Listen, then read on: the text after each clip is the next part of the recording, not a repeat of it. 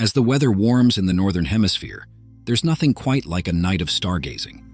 While many of us are unable to travel for astronomy meetups and star parties, we can still set up in our backyards and local parks to enjoy the May night sky. This month we'll receive a series of astronomical treats, planetary close approaches, meteors, and even a few special events with the moon. Never mind the fact that the Milky Way core is slowly rising as the month goes on, and you'll be able to see the that too. The May new moon takes place on May 5th, and the night will be especially dark that evening, as you'll soon discover.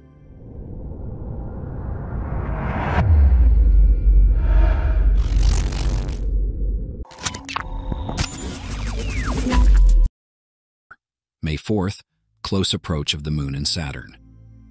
After their close approach almost 3.5 years ago, the Great Conjunction in December 2020, Saturn and Jupiter have been moving visually further apart in the sky. This means that their monthly conjunctions, close approaches with the Moon, have been moving further apart in time too. When they used to occur in close succession, they now occur several nights apart. May 5th, lunar occultation of Mars the Moon will pass in front of Mars, creating a lunar occultation visible from countries and territories, including Madagascar, Mauritius, Reunion, and Seychelles, amongst others. Although the occultation will only be visible across part of the world, because the Moon is so close to the Earth that its position in the sky varies by as much as 2 degrees across the world. A close conjunction between the pair will be more widely visible. May 6th, peak of the Eta Aquariid meteor shower. Meteorites always wow the crowds, and in May we have two decent chances for such celestial showers. The first one is the Eta Aquariid meteor shower, which peaks on the morning of May 6th this year. This is a better show for Earthlings near the equator, since the constellation Aquarius, which serves as the meteor shower's radiant point, will be fairly low in the southern sky. You can catch this show between late April through most of May every year, but the peak is predicted in the pre-dawn hours of the 6th. The Eta Aquarids typically produce about 40 meteors per hour.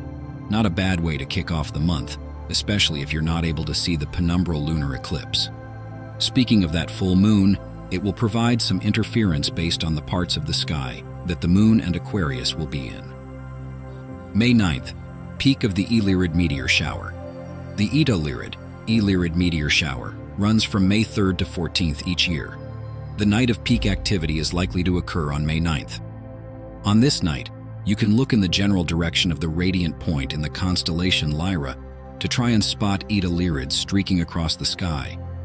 May 10th, Mercury at greatest elongation west Mercury's orbit lies closer to the Sun than the Earth's, meaning it always appears close to the Sun, and is lost in the Sun's glare much of the time. It is observable for only a few weeks, each time it reaches greatest separation from the Sun, moments referred to as greatest elongation. These apparitions repeat roughly once every three, four months, taking place alternately in the morning and evening skies, depending whether Mercury lies to the east of the Sun or to the west. May 12. Mercury at highest altitude in morning sky. Mercury will reach its highest point in the sky in its Apergön 2024 morning apparition. It will be shining brightly at mag 0.4 this apparition will not be one of the most prominent and tricky to observe, reaching a peak altitude of 18 degree above the horizon at sunrise on the 10th of May 2024. Mercury will brighten rapidly at the start of its morning apparition as it emerges from inferior conjunction. Prior to its apparition, it passed between the Earth and Sun, at which time it had its unilluminated side turned towards the Earth and so appeared as a thin, barely illuminated crescent. May 23rd full moon. The moon will reach full phase. At this time of the month, it is visible for much of the night, rising at around dusk and setting at around dawn. The flower moon. The sequence of full moons that fall through the year are sometimes assigned names such as the flower moon, according to the months and seasons in which they fall. Do you have questions about these astronomical events in the May night sky? Let me know in the comments below. For space updates, subscribe to Secrets of Space.